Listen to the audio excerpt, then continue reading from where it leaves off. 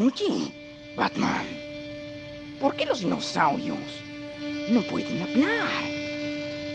No lo sé, Guasón.